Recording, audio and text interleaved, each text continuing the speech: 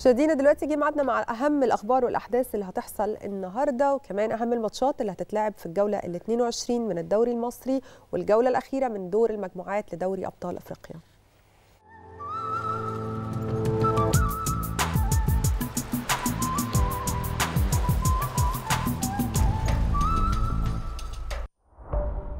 بالنسبة للأخبار المهمة اللي هتحصل النهاردة فهتنظم وزارة الأوقاف عقب صلاة التراويح بمسجد عمرو بن العاص بالقاهرة احتفالية بمناسبة ذكرى انتصارات العاشر من رمضان. ومن المقرر أن يوجه وزير الأوقاف كلمة في الاحتفالية حول جهود القوات المسلحة في انتصارات العاشر من رمضان ودورها في البناء والتنمية والحفاظ على أمن واستقرار الوطن. النهارده عنوان خطبة الجمعة الثانية من شهر رمضان المبارك هتكون عن الصوم وأثره في تربية النفس، وشددت وزارة الأوقاف على الأئمة والخطباء الالتزام بالنص الكامل للخطبة في جميع مساجد الجمهورية.